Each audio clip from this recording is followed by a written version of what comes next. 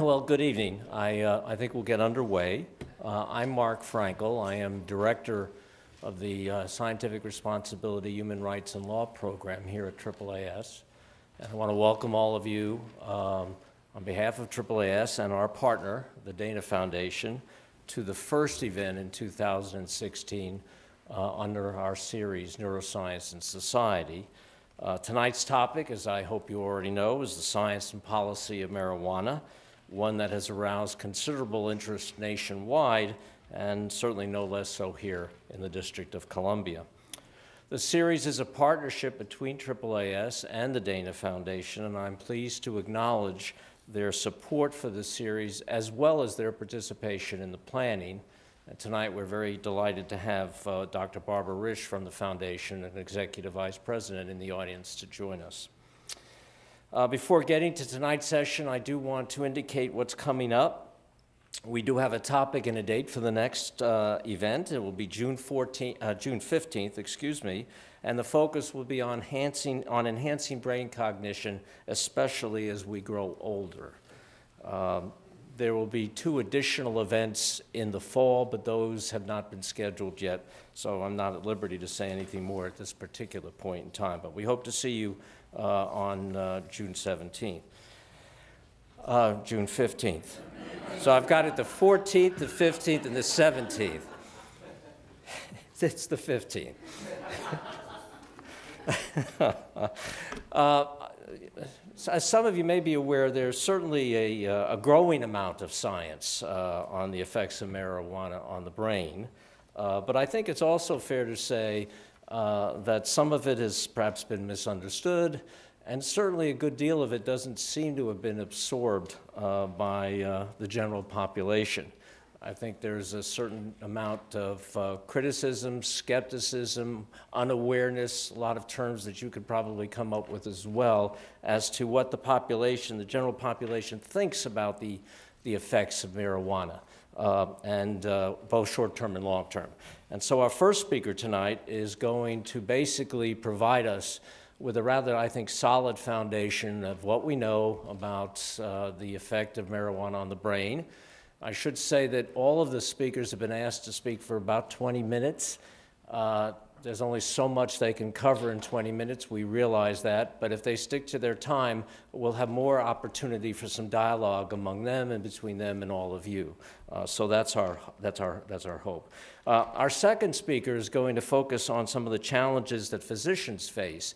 Those who work with uh, patients for whom marijuana may have some medicinal uh, value uh, but where the legal environment presents some very specific challenges. And finally, our third speaker will tell us about the DC experience and what it's been with regard to efforts to legalize the recreational use of marijuana in the district. We'll aim to end the program at about 7, and then we'll move outside for a reception, to which all of you are invited. Uh, you have speaker bios in your programs, so I'm going to make my uh, introductions rather short and succinct so that we can get on more with the substance of what people have to say and why, you're he- why you are here uh, tonight. Uh, I'm going to introduce each speaker in succession, and after they have all spoken, uh, they will come up to the stage, occupy those seats. We'll have a little conversation uh, among them, and then we'll open it up for Q&A with all of you, and you'll notice there are microphones on the aisles, and this is being uh, recorded, so if you would use those mics uh, at that point in time, please do so. Um, a reminder about the recording, it is, uh, the event is being videoed, and it will be part of the Dana Foundation website uh, in due course as part, uh, as, as many of the preceding uh, events have been as well, so that they are archived for those uh, who can watch them at any point in time uh, and were not able to be with us today. So I want to get on with the program and introduce our first speaker. Uh, Dr. Nora Volkow is director of the National Institute on Drug Abuse since 2003. She's a pioneer in investigating the toxic effects and addiction properties of abusable drugs uh, one of which, of course, is marijuana, and that's the one that she's going to address this evening. So please join me in welcoming Dr. Volkow.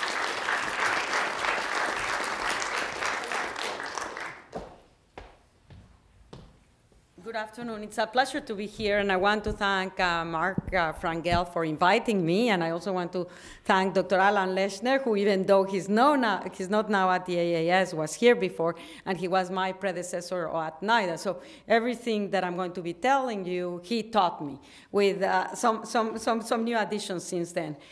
Now, um, here it is. The, I have 20 minutes actually to cover what do we know about uh, cannabis in the brain and what it does and what it doesn't. And so I'm going to try to do that uh, within this time constraint. Cannabis is the most frequently abused uh, illicit substance in the world, and so is in the United States. And it is estimated that at least 117 million people in the United States have been exposed to cannabis once in their lifetime. And every single year, there's at least 2.6 million new users of cannabis.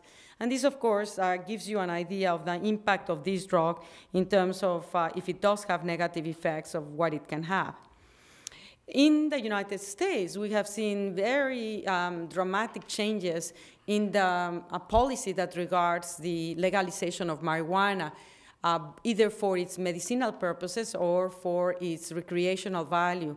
And that has been associated with a strong campaign towards creating a normalization vis a vis the acceptance of marijuana and the contention that marijuana is not, not a harmful drug, not only is it not a harmful do- drug, but that it has medicinal um, characteristics. As a result of that, and in parallel, uh, we have seen an increase in the use of marijuana among teenagers as well as adults, and this is a survey from Monitoring the Future, which we have been doing since 1979 and where we actually inquire 8, 10, and 12 graders about their patterns of drug use. And what you see there is for the two legal drugs, alcohol and tobacco, and then that comparing for cannabis. And this is for the indicator of past month use of these drugs. And for the past one, two, three, four, five years, we have seen that uh, smoking cannabis is more frequent than smoking cigarettes among teenagers. And this indicator is also true for the question of are do you smoke regularly, daily, where we're now seeing more consumers, consumers of marijuana smoke than of tobacco smoke. And, and, and so this, this crossing of the lines, and that had never happened before in, since the entry of the survey, reflects two phenomena a very aggressive campaign towards the uh, prevention of tobacco smoke, smoke among teenagers. Actually, the rate of prevalence of smoking in, among teenagers have actually gone um, by, has decreased by 50% in less than 10 years. And in parallel, the steady increase in the use of cannabis by teenagers. Alcohol uh, consumption in teenagers also has been going down. The decreases are not as dramatic as tobacco, but it's actually a very good indication of prevention campaigns. Now, what is driving these changes? And as I mentioned, the changes in the policy around the United States. Now, people like to come up with simple concepts and say either you have states that are legalized marijuana medically, 23 states, and the, or that have legalized it for recreational purposes, four states and, the, and, and, and, the, uh, and, and DC. But if you look at it carefully and you look at the map across the United States, the way that marijuana has been legalized as it relates to its medicinal properties is very different from state to state. So you cannot just simply say, are there differences in, in the pattern of consumption of drugs and the adverse effects of marijuana on the basis of whether it is accepted as medicinal marijuana or not, because the laws are very, very different and have very different effects. Say, for example, New York. If you want to actually get a prescription for um, marijuana in order to treat one of the conditions that is approved for, you have to register and you actually have to go to a physician and you have to get the, um, the marijuana from a very specific site. You cannot just go into any dispensary and consume it. This is very different from what happens in Colorado and California, Whereas you're walking, and I did it in Venice Beach, I was walking, and then I see this thing that says prescription marijuana $50. And I continue walking and says prescription marijuana $40. And so, so I didn't continue walking further, so I don't know how cheap you can get a prescription for marijuana. And in, in Colorado, it, it, has been described, there and it's literally because I asked someone and I started to count it in my obsessive mind. There are literally more uh, dispensaries of marijuana than Starbucks coffee shops. And Starbucks coffee shops are actually quite popular in Colorado. But that just gets an idea of the difference between a policy that's much more restrictive and constrained, like New York, versus something like what's going on in Colorado and California. We are concerned. I mean, and my concern relates very much to the fact that uh, the legal drugs are the ones that are most problematic in our country and in the world in terms of mortality and morbidity. Tobacco and alcohol account for many more uh, deaths than any of the other drugs put together and multiplied by two. And the reason is not that tobacco is more dangerous than methamphetamine or heroin. It's not at all. The reason is that legal status make them much more widely available, normatively acceptable, and as a default, more people get exposed to them regularly, and just by pure statistics, more people are suffering in absolute number adverse consequences. So I always bring forward the argument that data is out there. Do we want a third legal drug? Now, of course, the scientific considerations are not necessarily the one that drives decisions, because in parallel, there is a very large market uh, for the, um, the, the, commercialization of marijuana and marijuana products that has been estimated to grow from 5.7 billion, which is currently, uh, in four years to $24 billion. So that creates a lot of pressure in terms of economics as well as taxes that are going to be um, ga- garnered by states from the selling of these products. But we need to see what happened with tobacco, right? Because you can make the argument in terms of economics, and then you look at it, how much does it cost the country to address all of the adverse consequences? The same thing with alcohol. And, and the, the net number is a very negative uh, economic uh, proposition to actually the legalization of these drugs. And we all have to pay for it. So, but, but again, hopefully we have learned from the tobacco and we can do interventions that can prevent some of the adverse effects that happen with tobacco and alcohol. One of the things that we have been paying particular attention has been about how these legalization uh, laws are influencing the consumption of marijuana among teenagers. And we're giving the priority to teenagers because their brain is the most vulnerable to the effects of marijuana, both in terms of its potential for addictiveness, but also in terms of its potential for impairing cognition.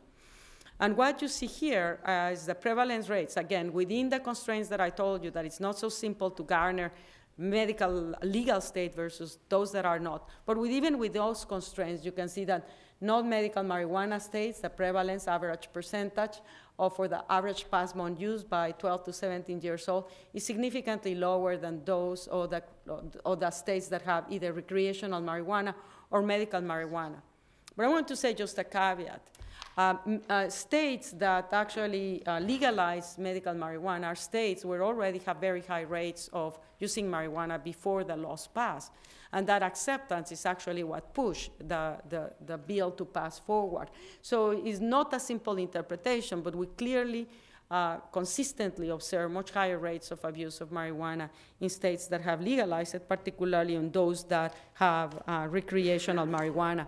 And we're also seeing higher adverse effects, such as those associated with fatal car accidents uh, resulting from marijuana consumption, as well as number of uh, kids dropping out of school because of marijuana consumption. Why do, what do we know about uh, cannabis and why does it uh, have its effects in the brain? And we've done an enormous amount of advances in our understanding of how cannabis acts. And this is in part because there's been an enormous amount of interest among the scientific uh, community to understand what is the role of, of the endogenous cannabinoid system in our brain. Just like we produce endogenous opioids, and you've heard the enkephalins that makes and the endorphins that makes us high, we also produce endogenous uh, cannabinoids that also make us feel good and that create a sense of well-being. And they're particularly, in, I mean, they're important in a wide variety of processes in our brain and in our body. And so what cannabis is doing is just binding to the receptors that are there in our brain in order to be able for endogenous cannabinoid system to do its physiological functions. But when you take a drug, of course, you saturate those systems in, when, in ways that are not physiologically relevant. Um, just as with opioids, when you take heroin, you basically stimulate this system, and that triggers neuroadaptations in the brain as well as adaptations in other organs in the body that can result in adverse consequences, and in the case of the brain, can lead to addiction. In the whole literature of cannabis, which I, I is the term that people are using these days for marijuana, uh, there are two compounds, the active ingredients, that have uh, generated the most interest 9 delta THC or tetrahydrocannabinoid, uh, because it, this is the active ingredient that is responsible for the rewarding and euphorogenic effects of cannabis. On the other hand, the other one that has generated a lot of interest is cannabidiol, referred to in the lay public as CBD. And this has generated interest because cannabidiol is the active ingredient that is responsible, presumably, for most of the therapeutic properties that have been described for cannabis. Not all of them, but many of them.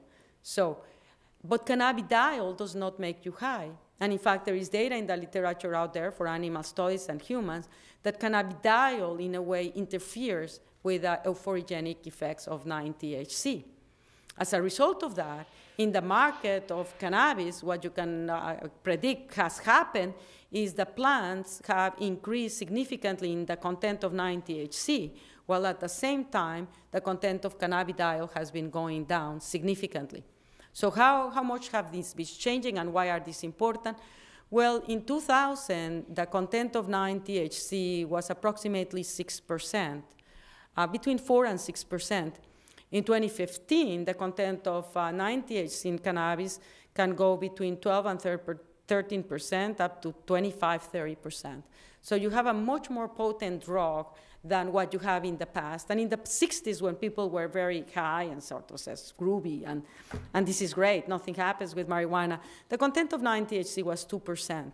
And we do know that the higher the content the, the, of 9-THC, the greater the psychoactive effects of the drug. And this is probably the reason why um, we have seen a very dramatic increase in the numbers of emergency room admissions associated with cannabis consumption as well as psychosis associated with cannabis consumption because the content of, of 9-THC is much higher.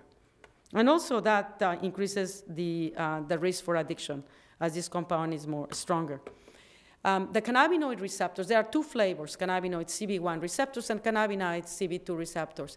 In the brain, the main cannabinoid receptor is the CB1 receptor and it is the, mo- the, the receptor, which we call a G protein coupled receptor, that has the highest concentration in the brain, just to give you an idea of how important this receptor is. And it's all over the place, and, and certainly it is localized in the reward centers of the brain, and that's why it is rewarding, and that's why it is addictive. It's also localized in areas of the brain involved with pain, and that's why cannabinoids, uh, I mean, they, because they play and they modulate a ro- very important role in the perception of pain. Extremely high concentrations in the amygdala, which is the area of the brain that allows us to actually um, memorize uh, condition responses, as well as in the hippocampus, which is classically the memory. But the amygdala is also important for emotions and thus the interest that it has generated because one of the main interesting roles because i couldn't say main because there are so many roles in the brain for cannabinoids but an extremely important one this, for us in the psychiatric world is that uh, cannabis basically modulates stress responses. So when you are exposed to a very strong acute stress, the endogenous cannabinoids kicks in to actually buffer the responses. And, and this is why, not surprising, uh, people are proposing the use of cannabis for the treatment of post traumatic stress disorder. The problem there is that when you consume cannabis, what happens is, I told you, it triggers neuroadaptations, and you immediately downgrade the formation of your own endogenous cannabinoid system, and that decreases in signaling.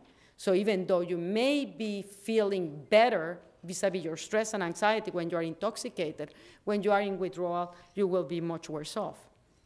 And this is exemplified here. So these are um, brain images obtained with a PET ligand, which is actually a technology that allows us to look at the concentration of receptors of different neurotransmitters in the brain, uh, showing in the human brain the concentration of cannabinoid receptors. And you can see that they are all over the place, the hippocampus, and that's why one of the areas that uh, basically that's affected when people get intoxicated is they cannot learn, they cannot memorize, um, and uh, the classical amygdala. Well, these are different areas of the brain in people that are marijuana abusers versus controls. The marijuana abusers are in black, and the controls are in green and in blue.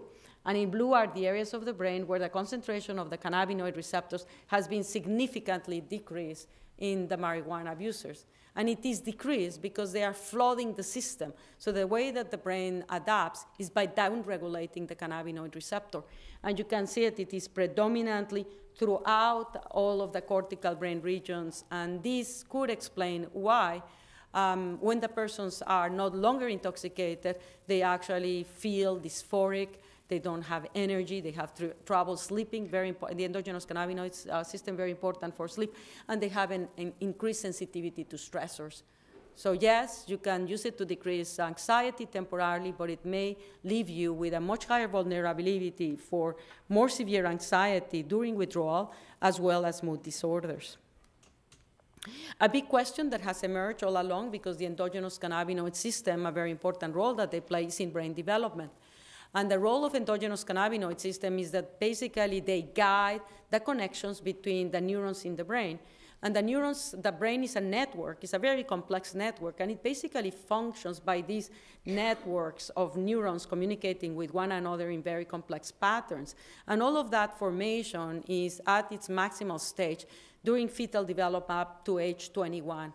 And cannabinoids are the ones that are guiding where neurons should touch with one another very precisely orchestrated, very specific timelines. So if you start taking cannabis when you are a, a child or a, a, teenager, you're going to disrupt this very elegant and precisely orchestrated process by which our brain develops.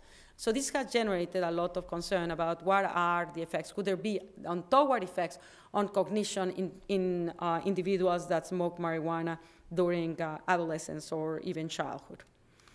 And, and we know to start with that, um, first of all, eh, whether you are a young person or an adult person, marijuana can produce addiction. And the risk of addiction are less than that of other drugs. So in that respect, it is correct. Marijuana, and there you have it, compare number of people that become addicted when they get exposed to a drug. So for tobacco, it's 32%. For cannabis, it's 9%. So you can say, yes, it looks like nicotine is more uh, addictive than, than tobacco, but you have to consider that nicotine is legal. So your likelihood that you will get regularly exposed to it is, is greater. So it's going to be interesting to see how those numbers look when uh, cannabis becomes legalized. Also, it becomes 16% when you start uh, smoking marijuana as a teenager, and it becomes 50% when you smoke marijuana regularly. So you produce addiction. But it also, you, the use of uh, marijuana, particularly at age 17, again, if you're an adolescent, the effects are likely to be much worse. Your risk of addiction are more greater. But marijuana also consistently has been shown if you start smoking before age 17 to increase the risk of not just becoming addicted to marijuana, but becoming mar- addicted to a wide variety of other drugs, which has led to the concept that marijuana could be a gateway drug.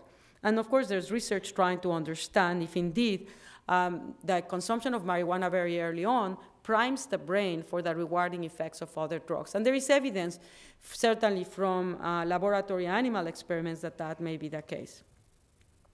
What do we know in teenagers from epidemiological studies? And this is uh, studies that have been done independently and corroborated again and again the same findings. So I would say this is very factual. If you are smoking marijuana as a teenager, trust me, your educational achievement is going to be significantly worse. And this is the, the study that was published in, in Lancet 2014. It's, I, I, selected it because it's actually on a very large cohort. It's actually two cohorts, one of 2,500 and the other on, on 3,700 um, teenagers. And then they look at, at them and, and monitor for their high school completion. And you can see as a function of whether they use uh, less than once a month or they use daily, the completion is uh, basically almost basically half between your decreasing your probability that you're going to complete high school. The same thing with degree attainment. But it's interesting also because this dosing is influencing, as we said, cannabis dependence, much greater when you are a daily smoker. Also increases, as I mentioned, the, the risk of becoming addicted to other drugs. But very interestingly, this particular study also showed this uh, six-fold increased risk for suicide attempt while it does not increase the risk for depression. And this has been noted by others, but it's actually not as solid and as a replicated finding as these, uh, these two that relate to degree attainment, high school completion, and cannabis dependence. Nonetheless, it's something that apparently may be related to impulsiveness associated with the consumption of marijuana that needs further investigation. This is a study that generated a lot of interest to 2012. Why did it generate interest? Because this one was evaluating the question does uh, consumption of marijuana during adolescence actually impairs your con- cognitive capabilities? And they were uh, testing the uh, intelligence quotient, the IQ. And, uh, but, and many others had shown it in the past. And again, the findings tend to show that people that smoke marijuana are cognitively at a disadvantage from people that have not smoked it during adolescence. But a big criticism of these studies has been that um, you did not control. They did not control for adolescent IQ functioning before taking marijuana. And it is um, a, a, plausible explanation that those kids that were already at a disadvantage cognitively may have been at greater risk of using marijuana. We know that to be a case for other drugs. This particular study actually tested them from IQ at age 13 before they actually started to consume marijuana, and then following, followed them until they were 38 years of age and tested them for their consumption of marijuana at different stages during their adulthood, and then tested them for their IQ.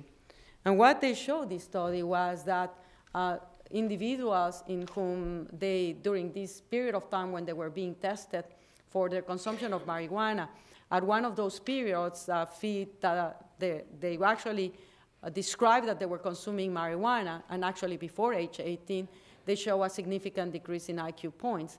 And the more the period of consumption, the greater the decreases in IQ points um, as compared to those that actually started to consume marijuana in adulthood. Again, highlighting in this case, there's not a question that the decreases in IQ points that you observe in these individuals were due to their premorbid function because this was controlled for premorbid function. So overall, it appears that those that uh, were consuming started to consume it before age 18, but then continued to consume throughout um, for longer periods of time, had in average seven lower IQ points. And considering that the average IQ in general is uh, around 100, that makes the significant difference in terms of giving you an edge advantage of actually putting you at a disadvantage. So it's not something to actually just dismiss. This is another very elegant study done by the group at New Zealand which has done some of the best studies in terms of neuroimaging, in which they were actually also looking at the effects of cannabis consumption during adolescence, and their measurement was the level of connectivity density in the brain, structural connectivity density obtained with diffusion tensor imaging MRI, and comparing those that have smoked during adolescence versus those that do not. And they identified actually that there were some very specific pathways. It was not that the whole brain had decreased connectivity and I found that very interesting that it is regionally specific. But, and, and predominantly, they observe it in this pathway that connects with this region in the brain that we call the precuneus, which is actually one of the main hubs of the brain. So I speak about the brain as a series of very complex networks. One of the networks that's most densely connected is the precuneus, and that was significantly, the connectivity of that region is significantly decreased in, was significantly decreased in smokers of marijuana. Similarly, the connections into the hippocampus were another one that was profoundly decreased. And when I speak about how decreased was this connectivity, what this investigator reported was 80 to 85% lower density of fibers on in these individuals. And then you can start to observe that, yes, if you have decreased structural connectivity of an organ that is a network, then that could uh, perhaps be one of the mechanisms that's underlying that decreases in cognitive performance that are observed when individuals smoke marijuana, particularly at regular, at high doses during adolescence. And finally, I want to address the concept of uh, THC on mental illness because that has also generated a lot of discussions, and in particular, the concept that the use of marijuana may result in schizophrenia. And all of you probably have heard this. Um, schizophrenia is a devastating disease, 1% of the population actually suffers from it. So what is it that we know? And again, uh, some. Uh, I, I, mean, I wish I could have very clear-cut responses to you, but I don't. So I'll get you the evidence and I get you the perspective of where we are. Um, marijuana, uh, I show you, it decreases the cannabinoid receptors in the brain. It decreases connectivity if you take it an adolescent. But also, if you take it as an adult, uh, you don't have to start taking it as an adolescent. What studies have shown consistently, and replicated by independent laboratories is that it decreases the volume of these limbic areas of the brain, which are the amygdala and the hippocampus. In a way, this is not surprising because these regions are one of the regions with the highest density of CB1 receptors and production of endocannabinoids in the human brain.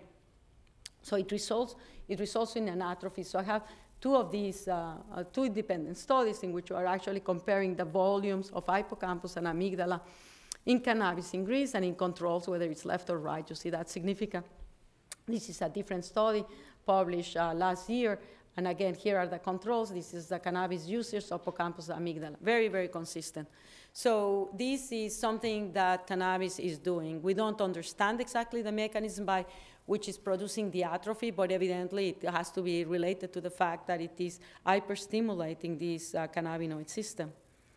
In schizophrenia, though, another very consistent finding, similarly, interestingly, across a wide variety of studies replicated, is that patients with schizophrenia also have decreased volumes in the hippocampus and the amygdala.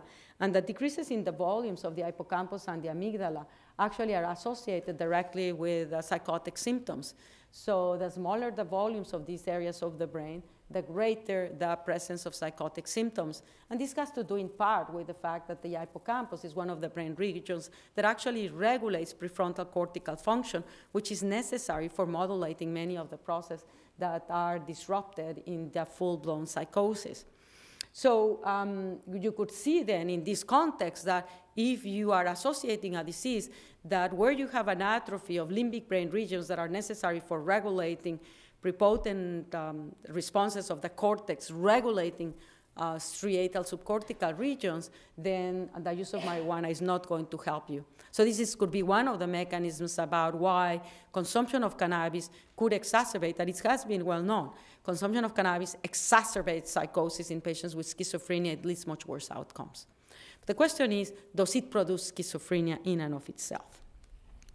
Multiple studies have been uh, reported trying to address this. And I said the first one uh, that generated a lot of interest was a, um, a study that was done by Nancy Andreasen in 1987, which was done in a stu- uh, on, on Swedish conscript, 45,000 of them, and in which she showed that indeed the, diagnosis of schizophrenia was significantly higher in individuals that had consumed marijuana for a higher frequency than those that have not. And, um, and this, this was a very significant effect that showed a dose, action, uh, a dose effect. So those that consume it very rarely did not really have much of a risk, but those that consume it frequently did. Following that study in 2002 came another, the same, the same study that I just reported, that is the Dunedin study that's following these individuals prospectively that shown the declining in IQ with uh, cannabis that reported that the risk for schizophrenia-like psychosis at age 26 was uh, significantly higher when individuals, it was 4.5, an odds ratio fourfold higher, uh, consumed the marijuana before age 15 than in those that consume it later on, in whom the risk for, for schizophrenia-like psychosis was not any different from the general population. And then there were been more recent studies in, in 2012 uh, that is uh, consistent with another studies that are actually are documenting that the increased risk of schizophrenia is only present in individuals that have very specific genetic vulnerabilities for schizophrenia itself. And in the field of schizophrenia, several genes have been identified that if you have them, are uh, in, associated with increased risk of schizophrenia. One of them is the AKT gene, and this is the, the variant of that gene that is associated with a higher risk of schizophrenia. And so what they, they showed is that in this individual that has a variant associated with schizophrenia, only in those that have that gene, does uh, marijuana increase the risk of schizophrenia. And the effect is very large. It's actually greater than sixfold. It's one of the largest effects actually published in terms of a factor contributing so largely to the expression of schizophrenia. Other genes have also been shown to sim- show similar characteristics, the catechol-O-methyltransferase, uh, that is binding gene. So it is the, no, the sense that if you have the genetic vulnerability and you consume marijuana, then in those cases, marijuana may trigger an episode that otherwise may have never emerged. And finally, the most recent one in 2015, uh, this is a study done in southern London that actually was evaluating the risk of uh, psychosis They don't clarify if it's chronic or acute, but the risk of psychosis was directly linked with the potency of the cannabis consumed being five, four higher than in the general populations in those that consume what is called skunk on a daily basis. And this is, the, this is a cannabis that has 9 THC content that is greater than 20%. So if you summarize all of this data, what you can clearly see is that there is an association with psychosis, and I basically work with uh, THC myself, and you can produce an acute psychosis in an individual if you give them a high enough doses. But that's an acute psychosis. The question is chronic psychosis, and schizo- which is what we call schizophrenia. And within that context, it appears definitively that the regularity of use is important, that the age of initiation is important, that your genetic background is important, and of course, the potency of the marijuana that you are consuming. All of them are important factors that determine whether um, a chronic psychosis will emerge or not. The question is still out there. I, I, wouldn't say marijuana by itself would produce schizophrenia, but it certainly is, um, can trigger and exacerbate psychosis. And we can also say that in some instances, that psychosis would have never happened had they not smoked marijuana. And this is uh, the last message that I want to tell you with. This is again the Monitoring the Future survey that one started in 1975 in which we question, uh, query uh, teenagers about their use of marijuana, but we also query about their perspective regarding the risk of using drugs. And we have seen throughout all of this survey that as more kids perceive uh, marijuana as dangerous, a much lower prevalence of use in, in our country. And as less kids perceive marijuana as dangerous, we have the highest res, uh, rates of use of marijuana indicating that um, perceptions of risk in adolescents do make a difference. And those interventions that are aimed towards actually doing what we did with tobacco campaign and making kids aware about the adverse effects could have a big impact. The problem is, of course, that uh, as I, I, basically presented some of the studies, and I've selected ones that have very strong evidence, but in the field, there have been many, many studies, and all of them can be, have, can be questioned because certain parameters were not controlled. And as a result of that, we are in a situation where we are vulnerable because when we say cannabis is dangerous, and people say, well, is it more dangerous for alcohol or tobacco? I mean, that's not a relevant question. It's dangerous in different ways. It's particularly probably dangerous for the developing human brain so what we've decided as a priority for the Institute, at the National Institute on Drug Abuse, is actually to, to start, and we've started a study of 10,000 children as they transition from age 8 and 9 into age 21 to do periodic um, brain imaging studies to look at the brain structure, the connectivity, the function, cognitive evaluations, um, performance at school, and to also evaluate the emergence of mental illness to be able to objectively assess the effects of cannabis consumption on human brain development. Of course, these kids are going to be consuming other drugs, so this would be the real world alcohol with cannabis, tobacco with cannabis. And in these kids, we will also be obtaining genetic information so that we can then have a much better understanding of sort of why is it that some kids can consume these drugs with no ill effects, whereas others are actually, this can be very, very detrimental.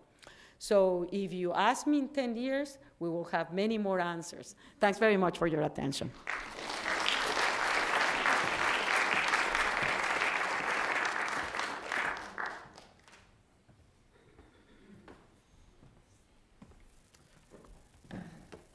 Thank you, Dr. Volkow. Our next speaker is Dr. Michael Bostwick. He is professor of psychiatry in the Mayo Clinic College of Medicine. He's certified in addiction psychiatry and he's given considerable thought to how the policies governing marijuana have affected its potential medicinal applications. So please join me in welcoming Dr. Bostwick to the stage.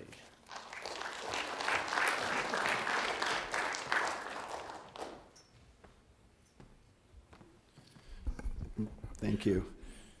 It's uh, fairly daunting to present after Dr. Volkow, but I'll try to present a different perspective on a different part of the problem. I came to this topic about five years ago as the parent of an addicted teen, uh, and um, uh, he is now t- will be 23 with six years of sobriety. So there's a happy outcome, but it was a very painful time. And like many teenagers, he was insisting that well, The recreational and the medical are, if it's useful medically, then it must be okay re- recreationally.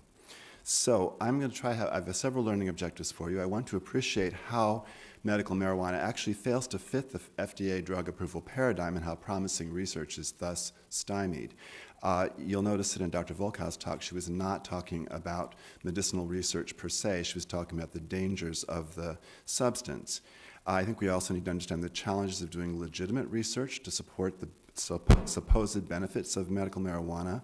See, uh, uh, pay attention to the catch 22 for physicians who are caught between defiant states that are legalizing the drug and federal government maintaining the drug is dangerous and without medical benefit. And finally, I'll give you another state that has put together a rather bizarre um, medical marijuana program in an attempt to kind of look like the FDA, even though it really doesn't. So, there is a paradigm in the US for doing legitimate pharmaceutical research, and it's been followed since 1938 through the Federal Drug Administration. And the new drug application tells the drug's whole story. There are multiple elements to it. You have to have the drug ingredients, how they were manufactured, the purported therapeutic mechanism of that drug, animal study results, and human trial results. I hope you're already thinking to yourself that we know none of this for marijuana, and certainly not for the raw plant, which contains many, many cannabinoids, dozens of different ones, plus many other substances as well, and even more that are created when you burn it. So the NDA, the national, uh, the review by the FDA, the, this uh, new drug application, the question is: the drug safe and effective for the proposed use? Do the benefits outweigh the risks? I like this one. Uh, bureaucracy is a package insert appropriate. Um, are manufacturing safeguards adequate to maintain quality, assure purity, and preserve safety? Once again, with the cannabis that's being used in, in the states that have legalized it, plus elsewhere, none of these things are uh, really addressed, at least not to the standards of every other medication we use in our country. The proposed drug has to have an indication for which it's effective, and that can't be it works for anything I want it to work for. It has to have a specific patient group it will benefit, a known and characterized potential adverse effects, a specified delivery method, um, which can include everything by mouth, by, by vein, by, and muscles, a recommended dose range, and a manufacturing method specifying the form the drug will take and what it will be compounded with. Once again, you can see that none of this applies to medical marijuana as it is currently construed. The paradigm assumption assumes that the drug will be synthesized in a laboratory or a factory. It'll have a known exact chemical nature, lot to lot consistency, consistent and predictable potency, absence of contamination. And these conditions have to be met prior to doing the safety studies and the efficacy studies. As a gardener myself, not of marijuana in Minnesota, I can tell you that any plant in my garden varies dramatically year to year it's a multi-step, multi-year, big money process. Now, this was quite the challenge to construct this slide as a, as a civilian, essentially. But preclinical testing can take years to synthesize the drug, to purify it, to test on animals. The IND application can take a couple of years to be filed, reviewed, and to get a response from the Federal Drug Administration. And then there are these stages that have to you have to go through with phase one through through three that work look at various aspects of safety and efficacy. That can take another three years, and finally the approval of the application can take two to three years. So we're talking about about a dozen years for the average drug, with many hundreds of millions of dollars spent to get the drug from the lab to the pharmacy. Now, you need to keep that in mind, of course, as you think about the financial imperative for developing new drugs and whether that's possible with uh, this substance. How cannabis got to be Schedule One? Well, that's not a very pretty story. Uh, it was supplanted, it was part of the pharmacopoeia in the US in, in, the 19th century. It has a five millennium history of being used medicinally, and it was supplanted in the early 1900s by opiates and aspirin in the US. Recreationally, it was used primarily by people of color, African Americans, and Mexican immigrants. Uh, there was a mid century explosion of general population use, probably from college campuses and recreationally. But at the same time, there were all kinds of political machinations going on that led to reefer madness hysteria. Now, again, part of this was about the pleasure people were deriving, but certainly part of it may have had something to do with race relations in our country. The Controlled Substances Act was passed in 1970, and the Schedule I designees included heroin, cocaine, ecstasy, LSD, and marijuana. Now, this is a picture of uh, Mexicans being inspected on the US border circa 1920. Some would have us doing this exactly the same way again now. There's a kind of xenophobia to that then, and there's a xenophobia to it now. Drug of the Devil, anybody know the film? This is Reefer Madness. And this is Harry Anslinger, Federal Bureau of Narcotics, quoting deeds of maniacal insanity were going to happen in this film, which, if you watch it now, is a camp cartoon. But it was taken very, very seriously in the 1930s and 40s by those who were worried about this very dangerous drug. Now, I would contend that marijuana was scheduled, or cannabis was scheduled, in the absence of science. The arguments given now for legalizing it is that we ought to have science, but we didn't have science when we demonized it. My point about that is that THC as a compound was only discovered in 1964. The receptors were discovered in the 90s, and the endocannabinoid system has, has been uh, described and elucidated uh, long after the drug was made um, Schedule 1 and therefore uh, dangerous uh, and not uh, having any medical benefit at all. So clearly there was a problem in the beginning with the absence of science, just as there's a problem now with the lack of science. I think there are two strikes against cannabis FDA approval from the very beginning. The first is that it's a Schedule 1 drug. Uh, high abuse potential, no accepted medical indications, and absent safety data. It's also problematic because it's a botanical. And essentially, as uh, DuPont uh, said, um, the, the, uh, the, it's a crude del- drug delivery system delivering many other potentially active cannabinoids about which we know very little, and with contaminants made by burning. The exact chemical nature of, the, of what you're getting is not known. Dr. Volkow has alluded to the different percentages of, of, the two ingredients that we're concerned about, mostly THC and CBD in any strain. Lot to lot consistency is not guaranteed but potency predictable and consistent is not assured, and contaminants of all sorts may be present, including bacteria, fungus, heavy metals, pesticides, other drugs, sand, glass, beads, you, what have you. Only two botanicals has, have been actually approved as drugs since 2004, when the FDA did put out guidance for industry to try to make it easier to get botanicals through. One is made from green tea and is topical for genital warts. The other is a croton sap extract that's used for HIV AIDS diarrhea. From what I can tell, these two drugs have been approved uh, out of literally hundreds of applications. It's a tough road to hoe if you're doing it the right way, and if you're doing it this other way, it's even more difficult. Uh, there is Schedule 1 research uh, permitted by, under the Controlled Substances Act, but there's seven additional requirements. And what I want you to pay attention to here, frankly, is the alphabet soup involved um, that have to approve this pre uh, new investigational drug application. You have to contact the FDA for a pre IND number. You have to query NIDA for what research strains are available. You have to ask the Drug Enforcement Administration for an application and a Schedule 1 license, request a letter of authorization from NIDA, submit the protocol to FDA and the DEA, await FDA to review the IND, and then the FDA may go to the NIH for intramural applications or to Human Health and Human Services for extramural applications. Are you confused yet? Or, or, overwhelmed, maybe is more to the point. And then after you've done all of that, you may be given some cannabis or the right to secure it from NIDA to um, actually do the research you propose to do. So this is in addition to the 12 years that is involved for any regular uh, appropriate, uh, appropriate is a, a, a term, very, very complex and very, very difficult to make this happen. NIDA can provide research grade cannabis. The contract was renewed just this past year, but it contracts with the University of Mississippi. And again, there's a loose base, like in Minnesota, the approach is loosely based on the FDA paradigm. The farm in Mississippi is the one manufacturer, the, la- the plot of land is, is secure. It's a single strain grown, harvested, and stored under standard conditions, and the product is processed into suitable research forms that qualified investigators who've gone through all those steps can then get to do the research to be able to uh, come up with a drug. Now, Marinol and Cesamet, which are both um, THC, one is THC, the other is a THC like substance, both uh, are, got away with it, as it were, because they followed the FDA paradigm more than 30 years ago. They both are synthetics manufactured in laboratories, that was a requirement. They both are oral preparations, they both have clear indications. Um, and um, so they really met the paradigm in the way that we expect our drugs in this country to do so to be safe. There have been legislated exceptions to the uh, Schedule 1 status of marijuana. There was a compassionate program uh, that accepted enrollees until 1992. Um, I'm, I'm, not clear exactly why it was stopped, probably for political reasons uh, around the time of the AIDS crisis. At the peak, 30 patients were getting monthly marijuana from the University of Mississippi. I couldn't find an up to date, but at least four were still alive and getting their monthly supply in the form of, of uh, cigarettes in a can in 2014. What's relevant to physicians is that who cannot prescribe, because remember, physician licenses come from the state to practice, but they come from the federal government to prescribe, and you cannot prescribe unless you want to risk your federal license to prescribe.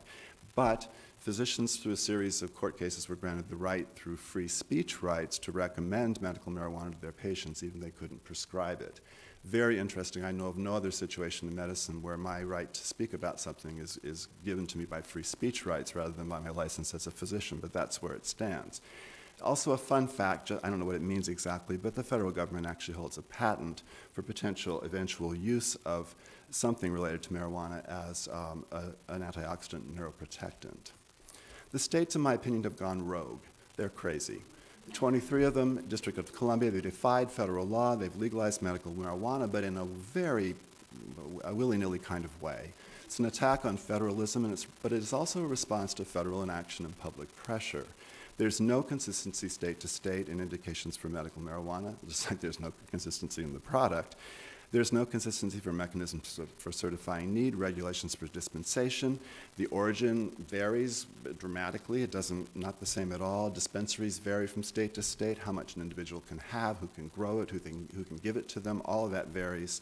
So it's really just a hodgepodge. And what's true in one state may not be true in the next state at all. So, do the states have the right to legalize, re- regulate, medicate, and educate? I would argue no, not in the way that we have currently constructed our process for, uh, for approving drugs. But uh, the states do, as we see in many other examples, uh, including uh, gay marriage recently, push the federal government to move where maybe it didn't want to go. It's a patchwork, it's medical and legal chaos. On the left, you see all these different, every color in each of these two maps represents either a different way in which the drug is available depending on the state, or a different way in which the law is written depending on the state. Some states have decriminalized, which doesn't mean that, that you get away scot free. Other states have made it completely okay recreationally. Other states have said no to all of it. And some states have come up with their own version of what uh, is a medical marijuana law that is like no other state's version. There's a shaky detente with, uh, with the federal government, and discretion is really advised. As Congress continues to contend, because Congress again approved the CSA, not scientists, that uh, marijuana is dangerous and illegal. That has not changed since the 1960s. The Department of Justice, however, is making an argument in letting the states get away with a lot of this that they don't have the resources to uh, go after things that uh, they don't deem are important enough, investigative and prosecutorial resources. Federal pr- prosecutors scattered throughout the country have broad enforcement discretion but the DOI makes very clear, Department of Justice, that it's not endorsing state laws that contradict federal law. It's just telling the, the local prosecutors to use discretion in terms of how they uh, expend their resources. The Ogden memo in uh, October of 2009 uh, again pointed out what they were really concerned about were traffickers of illegal drugs, including marijuana, and their, the goal of Department of Justice was to disrupt illegal drug manufacturing and trafficking networks.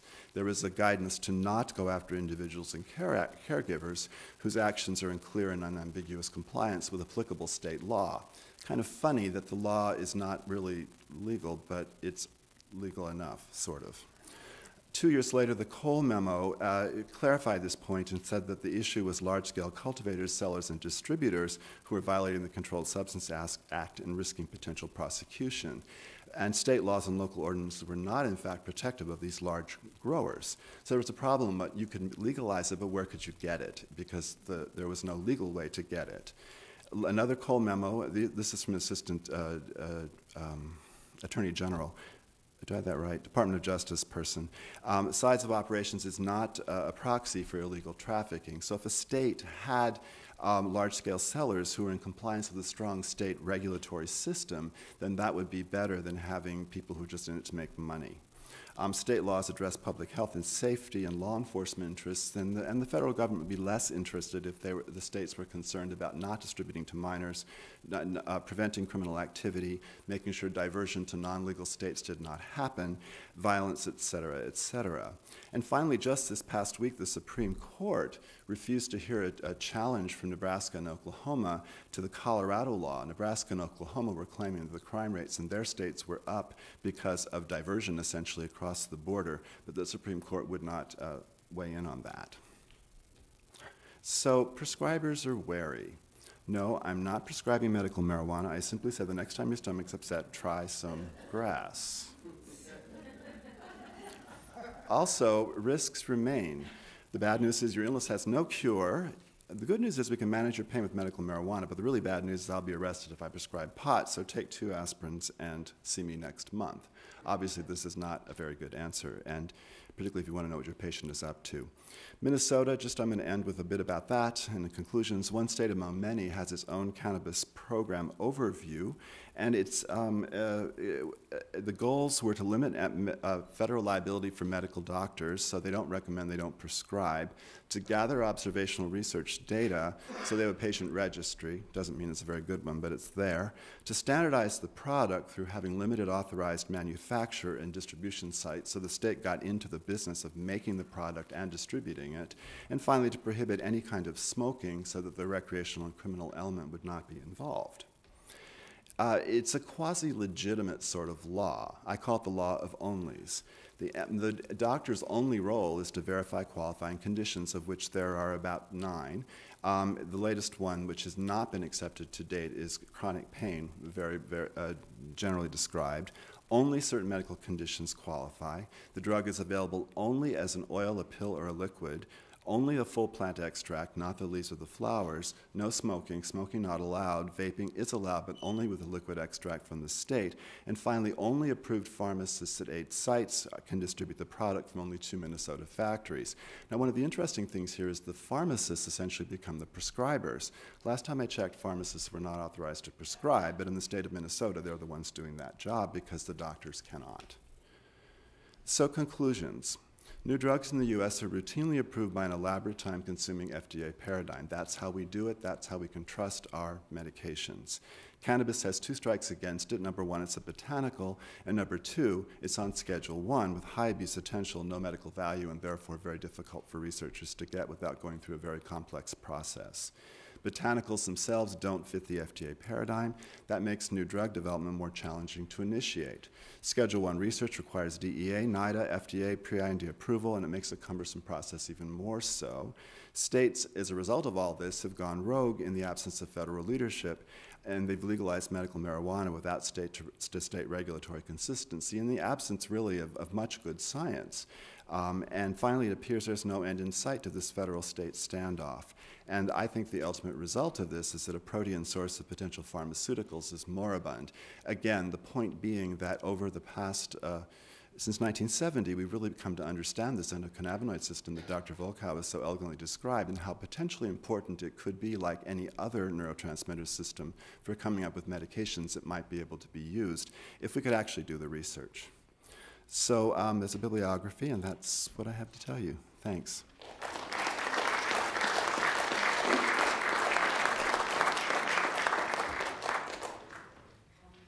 Wow, we've got a lot on the table to discuss. Um, but let me introduce our final and third speaker. Um, David Grosso is a member of the Council of the District of Columbia. He's an elected at, a, at a, uh, an at-large member, if you will, to represent all the D.C. citizens. His primary focus on the council has been education from early childhood to adult learning, but he's been very involved in the district's earlier efforts to legalize marijuana for recreational use and is going to talk to us a little bit about that experience. So please join me in welcoming uh, David Grosso.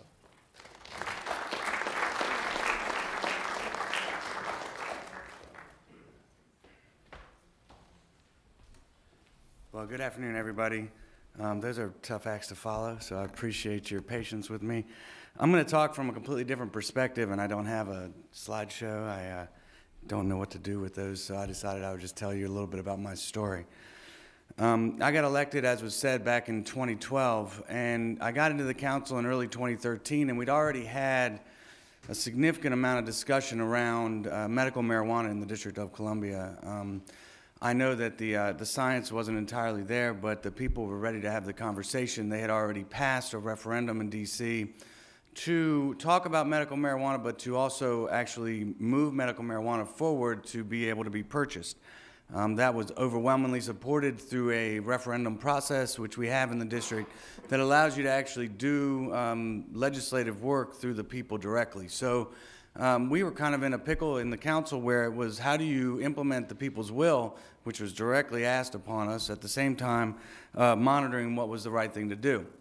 Um, I'll note that uh, I'm not a doctor, I'm actually a lawyer um, and a politician. So this whole perspective will be from the political side of it, the policy side of it, and I think that's important to note. Um, I don't pretend to know the science of this, but I think uh, the reality is, is that not anyone really knows the science of this. Um, and I think we'd be foolish to sit here and say that I have all sorts of great arguments for legalizing marijuana because it's good for you or uh, because it's the right thing to do for your health or any of those regards.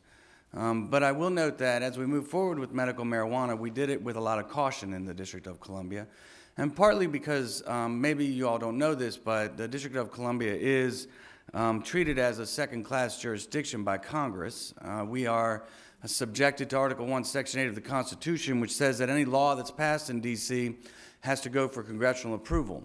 And so when the referendum passed, uh, Congress put a stop on that referendum and said, regardless of the will of the people in the district, we're going to actually say literally, you're not allowed to expend any money to implement medical marijuana in D.C.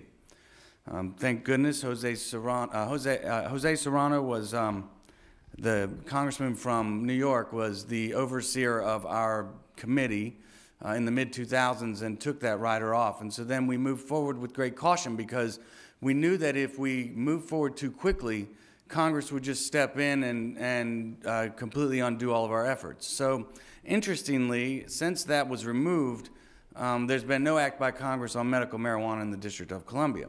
And our program has grown and grown over the years. It's uh, slowly, we had lots of conditions, qualifying conditions that we set up. Uh, we've moved to a new paradigm now where there are no qualifying conditions.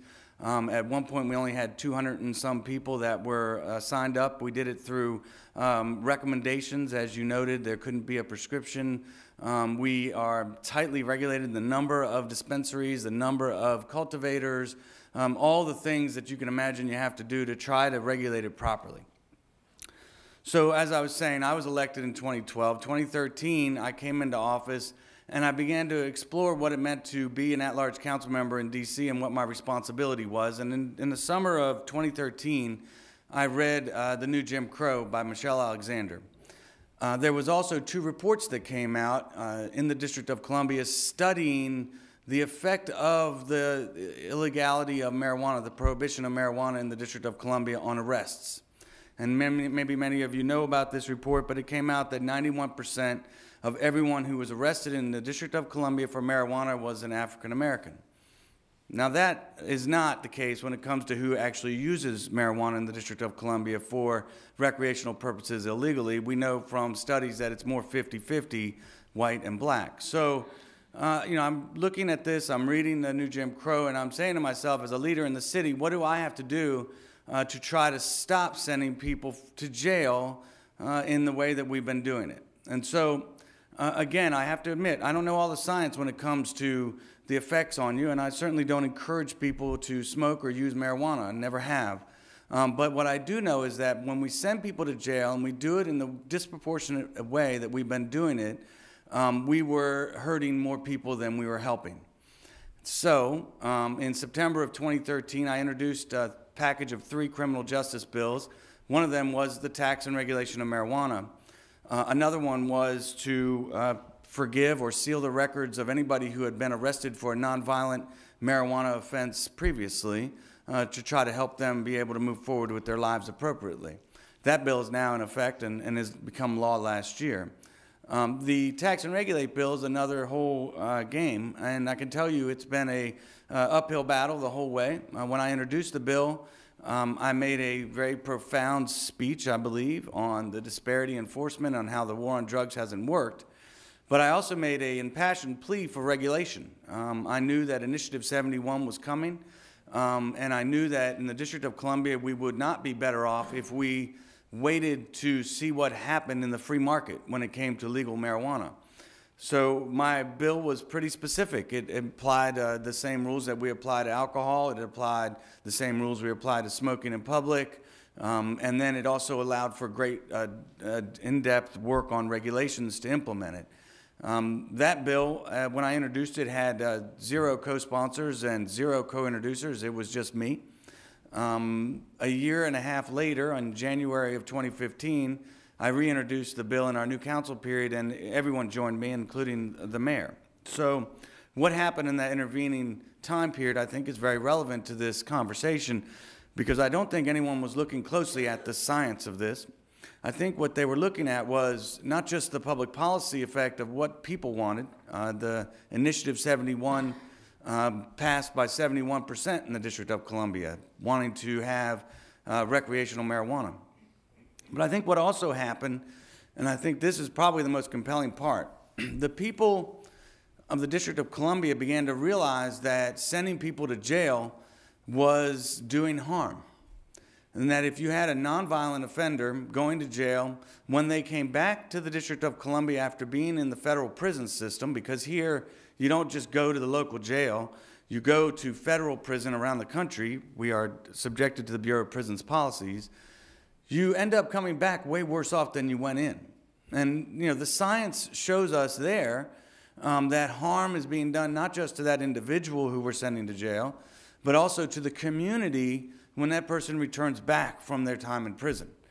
And so for us, it was a question not of, of the, the science of marijuana, and I think we can talk about that for a long time, but the science of the criminalization of something like this that is putting people there who are not violent actors um, and the effect of our, on our community, and especially the, the racial dynamic, the effect um, on the African American community, on the poorer community in the District of Columbia was unfair and unjust. And so you can imagine then, after a year of debate, that there was very little debate to have when it came to what the laws we were going to pass were. Um, there was, I think, a need to think about it more, and I think we're still thinking about it. As you probably know, uh, Congress did step in when it came to recreational marijuana use in the District of Columbia. Although they didn't stop Initiative 71, they did stop my bill to tax and regulate marijuana. And it's an interesting, I'll just digress for a second. It's an interesting question for how many years, um, close to 80 years or so, there's been uh, zero tolerance prohibition on marijuana in this country, more or less. Um, and you can say that there hasn't been the studies that need to be done on it. You can say that there hasn't been the analysis that needs to be done on it, partly because of that. Um, and, and I guess what I'm saying is when you tax and regulate, that gives you, I think, a better opportunity to do that, a better opportunity to monitor it, a better opportunity to actually control it. So when you thought that prohibition was controlling it, you should just grow up where I grew up, you know, in Petworth, in the District of Columbia off Georgia Avenue. It was not controlled. Um, and I think uh, there was a, a, point made earlier that 100 and some million people or more in this country have smoked marijuana. Well, prohibition and the war on drugs didn't work because, uh, you know, people did try it and then people weren't worried about the science. And um, maybe to their detriment too. And I think that's not fair. Now, if you pick up a pack of cigarettes or you read a website on the effects of smoking, you know the impact it's going to have, and it's pretty serious impact. So the Wild Wild West doesn't work. Um, and in my opinion, it's better to have a regulatory framework in place so that we can do what's re- what the responsible thing to do is as a government, which is to make sure that we regulate when necessary, to keep it out of the hands of minors, which is appropriate. Uh, my bill would only allow it to be for people who are 21 and older. But regulation also lets adults make decisions about their lives, which I think is a very important aspect of this. That with, when you're given the accurate information and you're given what, you're, what you need to know about something, you have the right as an adult to make a decision about that. Um, and I think that's very important for us to remember as we move forward with this change in policy in this country, um, and, and certainly in, in marijuana or maybe even other drugs as we move forward. So I'm not I'm not here to to you know argue that it's it's it's healthy for you to smoke pot. In fact, I don't think it is, and um, I can tell you. Um, I think that it is your choice if you're 21 and older whether or not you want to take that risk. But I think that if we had the regulation in place, if we had the laws in place like I want to put in place in the District of Columbia, you would be able to do the education campaigns properly. You would be able to study it properly. You would be able to understand it properly. And then you'd be able to prevent people from doing it who maybe don't want to do it and prevent minors from doing it because it could and probably does have an effect on their development. I'll just note uh, quickly on the medical marijuana side. it's now grown in the district to a pretty big, big program. Um, it's not enormous, but uh, there's over 3,500 people now that have recommendations or prescriptions or whatever you want to call them uh, for medical marijuana. Uh, we still have significant limits on it.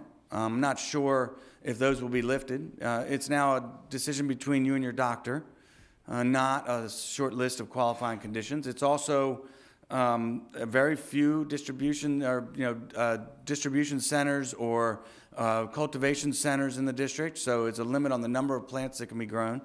There's also lots of testing being done on the marijuana. Um, there's regulation by the Department of Health that requires monthly testing, and I think the Department of Health needs to be given some credit here. Um, they're not uh, just floundering about. They are trying to understand what the impact is, and they're trying to regulate that. I think the industry is too.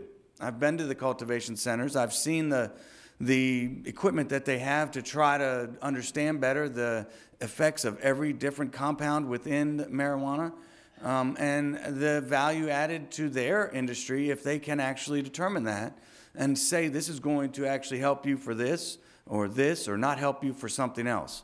And so, in the prohibition world, where there was no access to marijuana, except for it sounds like in the farm in Mississippi, um, I guess there, there was no way to really know. And so I'm hoping that as we move forward, we'll do it in a responsible way, uh, that we will continue to uh, study this in a strong and open way and, and, and try to figure out what's best for our country and for our city. Um, but I think one more note is important, and then I'll, I'll sit down and we can ask questions. The federal government is a government of inaction. I mean, this is not the only thing I'm working on where I wish the federal government would do something. Um, I'm also working on a bill that would give uh, family leave, paid family leave for people in, in the District of Columbia so that people could be with their loved ones and take care of their elderly parents or their newborn child and not be at risk of losing their job. The federal government, I think, has an obligation to start to lead the way on some of these things. Um, Congress is, is sitting on their hands, uh, not doing things other than impeding on the District of Columbia's right to actually govern our own city. And so, you know, I, have called on the Congress, I've called on the president to step up in these areas and not allow it to continue to be the Wild West that it is when it comes to drugs, not allow the, the world to continue to hide uh, from the real issues that matter, which is how to regulate pro- properly this, this, this world, um, whether it's any drug, heroin, cocaine, marijuana. You don't know what it's, what's in it. You don't know what um, is ultimately going to happen if you if you regulate it. And I think that we need to take that brave step and and try to start regulating things rather than just outright prohibition on these things. Um, and I'm looking forward to continuing to work on that throughout my my entire time in, in the council and believe it's an obligation that I have uh, to try to stop sending so many people to jail uh, and and realize that that's what's best for the District of Columbia. So thank you very much.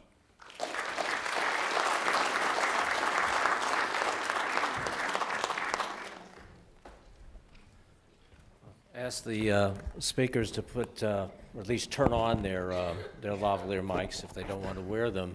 Uh, this is such a complicated topic. I have decided that what I'm going to do is I'm going to give each of the speakers two minutes to say anything they want to in response to what they've heard from the other speakers. And then we're going to throw it open uh, for questions uh, from the audience uh, with the hope that uh, we'll be able to break at about 7, 7 o'clock, which gives us about 15 minutes for each of them to have their say in response to what they've just heard. Um, I'll start with you, Dr. Volkow. You were, you were first. You've, you've, you've heard the other two speakers.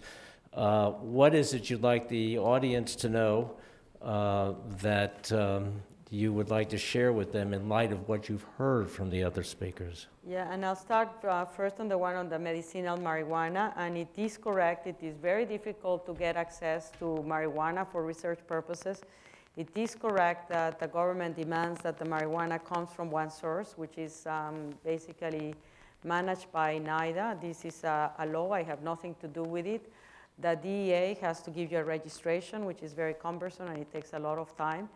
I basically testified, and I cannot say, because my perspective is just say it is correct, and I know from researchers that this has been very, very difficult, uh, whether you're studying cannabidiol for the treatment of seizure disorders or for analgesia, it is a very slow process. I, I have continuous dialogue with the FDA to try to figure out ways in which we can make this actually much easier, such as the scheduling cannabidiol there's no evidence that it is rewarding, and there's evidence that it can be beneficial. Uh, you didn't point that out, but methamphetamine, which is one of the most addictive drugs, is a Schedule II. So, so there is an inconsistency in some of the process, but, but again, there are regulations that are followed, they have procedures, and that's what happens. With respect to the issue of the legalization, I'm very sensitive to the notion of criminalizing substance abusers.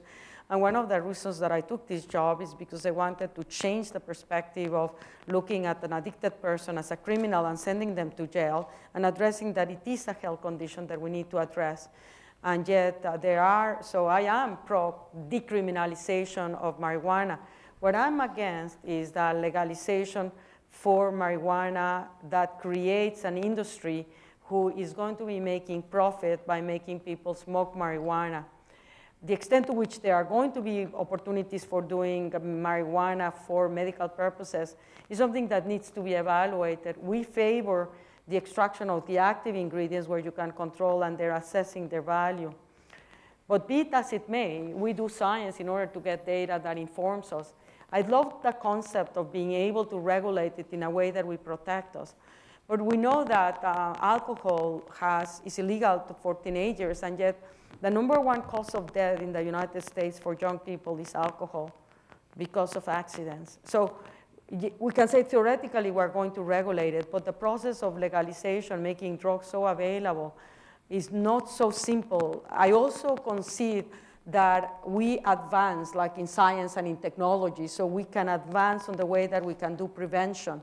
But as of now, I not know of any single program that has been able to really protect uh, teenagers of the adverse effects of drugs. And I just want to end up by saying the number one cause of preventable death in the world is tobacco. The number three cause of preventable death in the world is alcohol. Both of them are legal. And my perspective is we need to learn from history.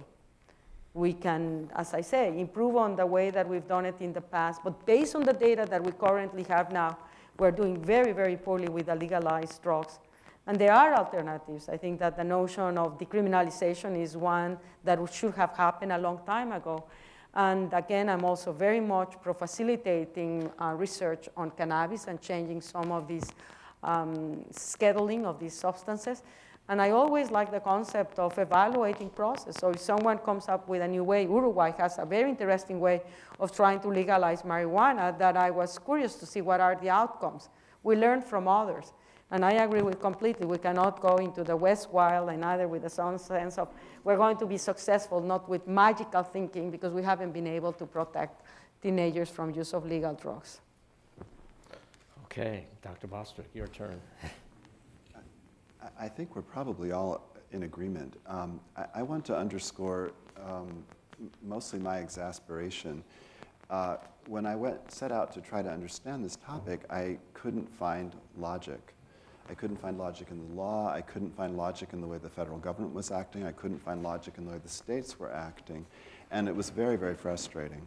Clinically, I'm in the position of having patients come to me to want me to discuss with them what to do about this drug. I also get calls from reporters who want me to talk about prescribing and risks and benefits and dangers.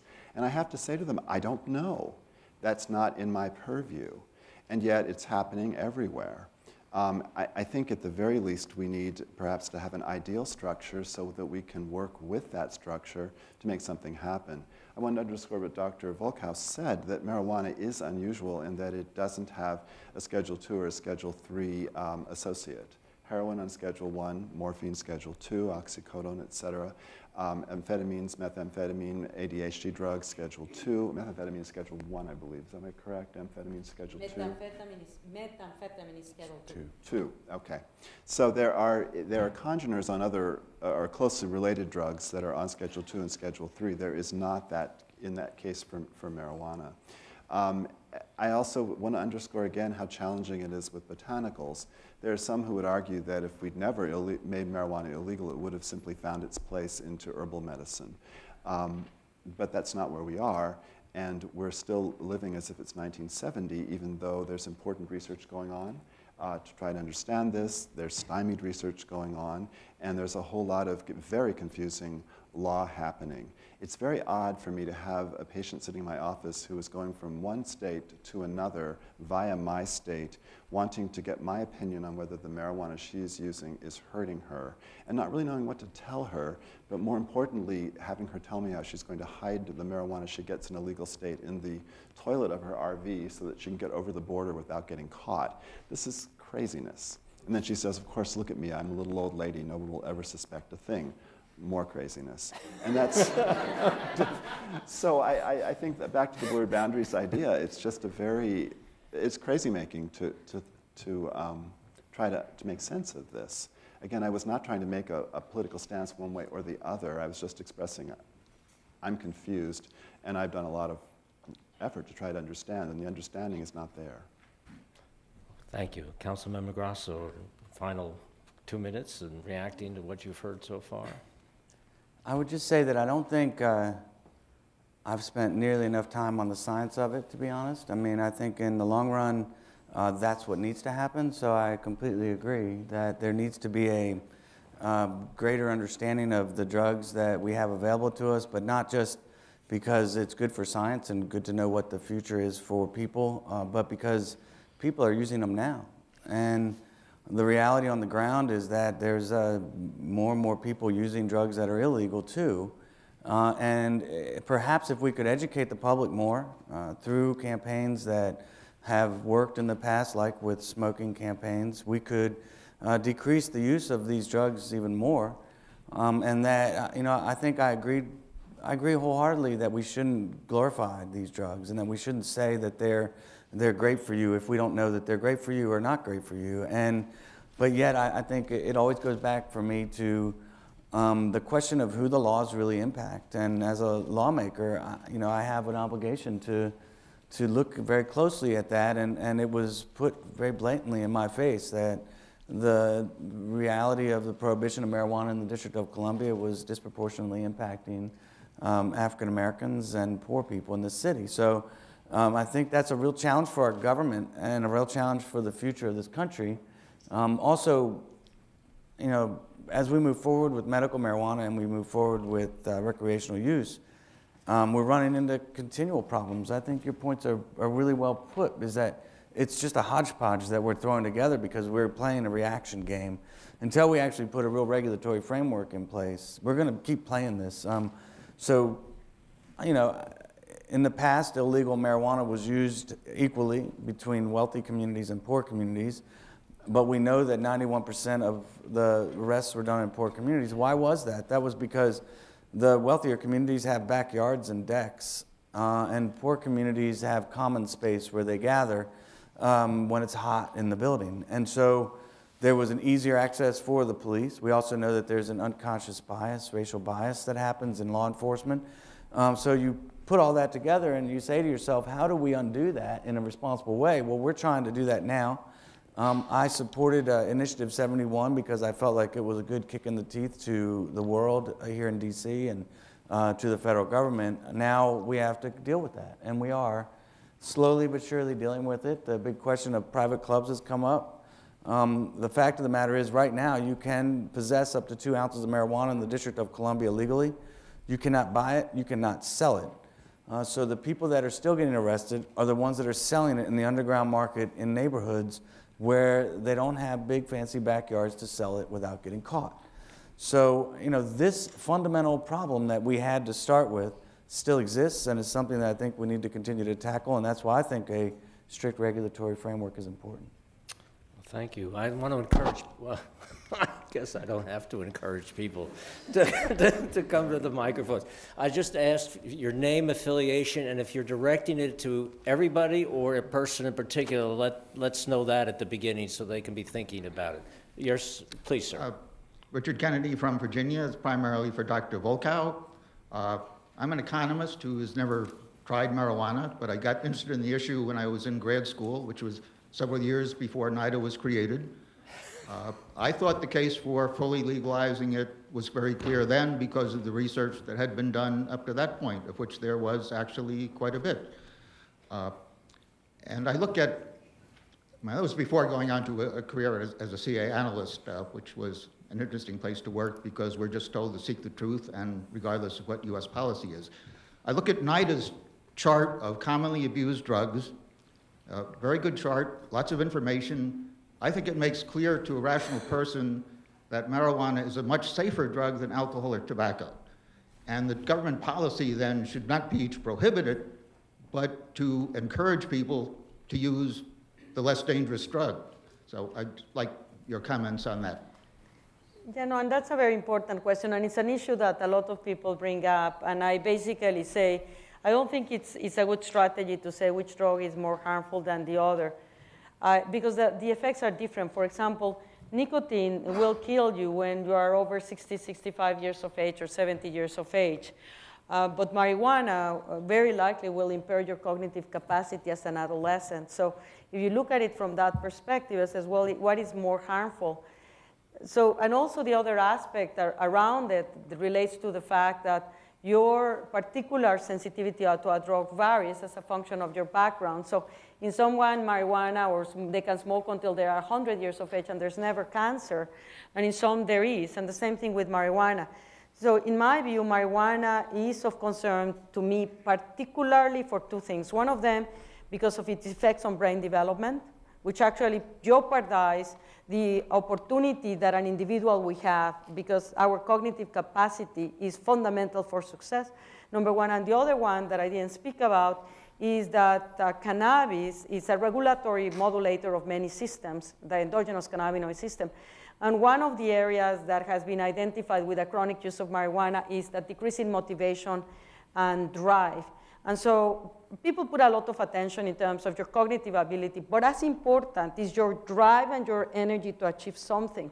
So if you have a drug that drives that out of you, that's going to put you again at a tremendous disadvantage. So that's why I don't like this issue of which one is worse than the other.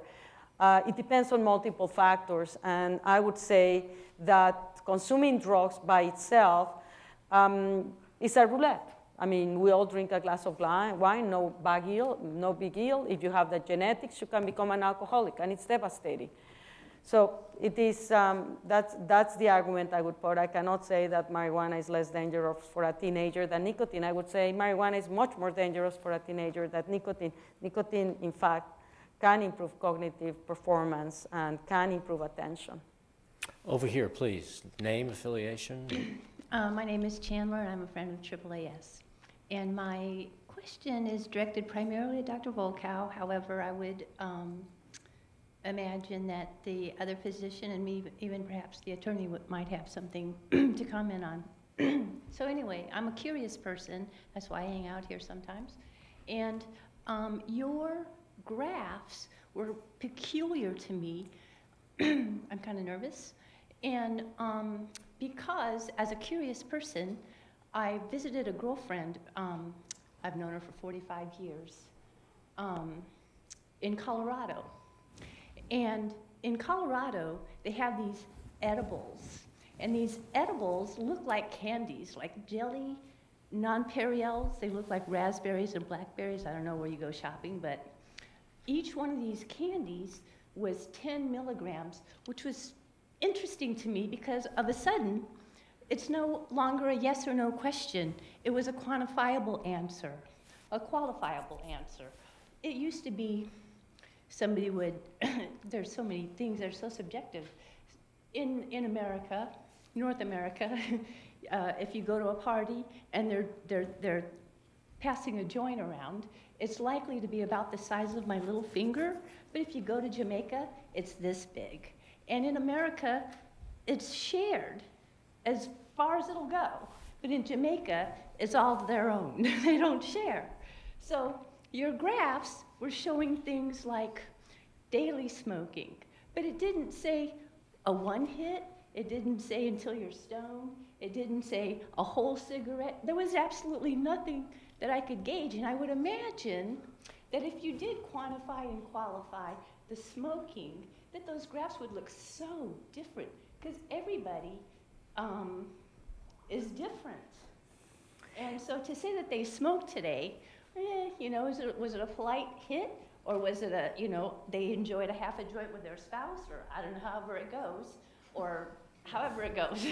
Okay, let, let's give her a chance to I answer know, and that. that's a very good question. And actually, um, you are a curious person and you have a scientific brain because, in, rea- in, in truth, the, the ability to quantify the exposure of uh, drugs other than alcohol in general and perhaps a little bit nicotine is very, very difficult. So, when we're saying how does cocaine or methamphetamine affects you, we basically, there is an uncertainty.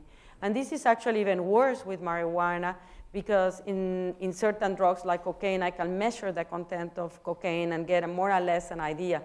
Marijuana is much harder to quantify. So this is within the error margins of all of these measurements when you're trying to establish how much of a drug a person consumed. It is recognized that when individuals are smoking regularly, it tends to be that they smoke uh, one, two, or three joints a day, but we don't know precisely. We don't know if they consume the whole joint or they just consume half of them. If they are taking edibles, we don't know if they eat the whole cookie or just a little fragment that they are aiming to do.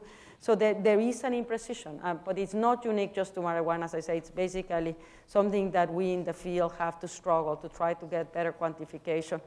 And, and, and uh, in fact, it's something that we are investing resources for researchers to come ways, to come up with ways that we can objectively measure the levels of exposure. But as of now, nobody has been successful. Dr. Bostwick, did you want to add to Um, that? Yes, I do. One of the challenges uh, to the whole way in which we prescribe medications in this country is that when a person smokes a marijuana joint, they decide how much they want. The doctor typically will prescribe uh, an amount, um, but, that, but the person gets what they get and they use as much as they want to use, which really flies in the face of the way we typically do it. The only analogy I can think of is a pump that's used for um, opiates in the hospital, where, but the doctor does have control of the lockout, and it's shown that patients who use those pumps actually use less drug than they would if they were given pills. Um, so the question that I would have, I, I appreciate the point that the, that the, uh, the, the marijuana is becoming more and more potent, but I don't know if that even translates into people using less of it to get the same effect that they got with more of it. So there's this other issue of, of the person deciding how much they want to use rather than just taking it. One of the major issues with nabilone, and that's Marinol, is that it's unpredictable what the effect is going to be. You get the pill, it goes to the gut, it goes to the liver, and you don't know what you're going to get, and you don't know when you're going to get it for an effect. Uh, whereas when you smoke, uh, you get an immediate effect, and depending on how quickly or slowly you smoke, you can titrate it to an effect. And that really is another way in which this just doesn't fit with the way that we typically prescribe drugs. The, um, uh, we- We're obviously not going to get to all of these questions if we take them one by one and still uh, have our break. Uh, I- I'm willing to go another five minutes. Uh, If we could ask, uh, we'll go back and forth, ask you to say who you are, affiliation, and your quick question, then the next one, and then the next one, and panel, think about all of them, which ones you want to answer, so forth and so on. So I think we start here, and then we'll go there, et cetera. Please. Jessica Wyndham, AAAS, and my question is for Dr. Volkow. What do we know about the impacts of secondhand marijuana smoking? Okay, over here, please. Yes, Christine Miller, Smart Approaches to Marijuana in Maryland. And my question is for David Grosso. Are you aware, you spoke of, you know, caring about uh, the fact that legalization would enable you to control what gets to kids. Actually, Colorado now- now leads the nation in past month use by 12 to 17 year olds, and DC is up there along with Oregon and Washington. They're all in the top five. But my question for you is, what are you doing to educate? If you care about educating, why haven't you started that process now? Okay, over here, please. Uh, Lee Hopcraft with Dollar High Club in DC. Uh, I wanted to ask, I wanted to kind of refer back to a Forbes article and the way that the cannabis industry has been seen nationally. Uh, Forbes called it the best starting industry in the country uh, with over 7 billion in uh, proposed revenue for the next few years. Um, how do you guys feel that that's going to affect the way that science is uh, looking at cannabis, the amount of money that's being poured into it around the country? Over here, please. Uh, Dr. John Van Meter, Georgetown University. Um, I'm appreciative of the fact that de- decriminalization is important and it's, uh, criminalization has been misused. I think one of the factors that hasn't been enunciated with regards to decriminalization is that it gives the perception, and Dr. Volkow's graphs, one of her early graphs showed this, it gives the perception that somehow marijuana is not a dangerous substance. And so while smoking and alcohol use in, in adolescents is going down, her graphs are showing, the data is showing that marijuana use is going up because the message is not getting out there to the adolescents, to the teenagers, that just because it's become decriminalized or legalized or what have you, that it still doesn't mean it's safe. Okay, over here, please. Um, I'm Alex, uh, I guess unaffiliated. Um, this is um, for anyone uh, who knows the answer. Um, basically, just wondering, I, uh, Dr. Volkow, I, I, saw the thing about the genes being a very important factor in um, uh, schizophrenia potentially being um, activated by marijuana, and I'm just wondering, is there like, is there a way to test for genetics, I guess? Is there a way to test to see um, if you would be at risk for, if you smoke marijuana to activate some mental health issue? Thanks. Over here, please. Uh, Levin Bokaria, Georgetown University. Uh, this is a question primarily for Dr. Volkow. Um, I'm not sure if we'll have time, but if you could go over uh, about the uh, question of whether marijuana is a gateway drug or not, and what the current research is on that topic. And last one here, and then the last one there, please. My name is Andrew, also a friend of AAAS. Uh, this is a question for Dr. Volkow.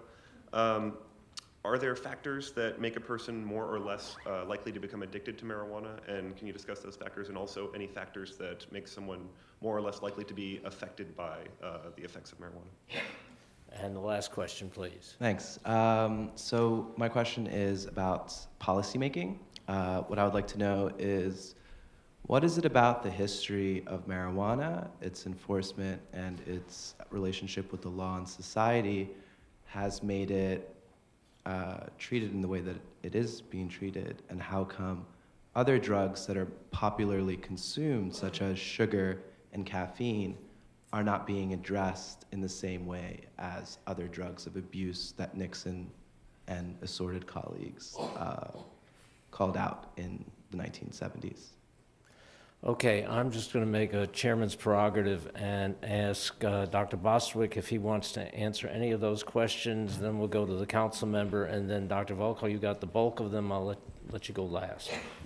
Dr. Bostwick, any of them.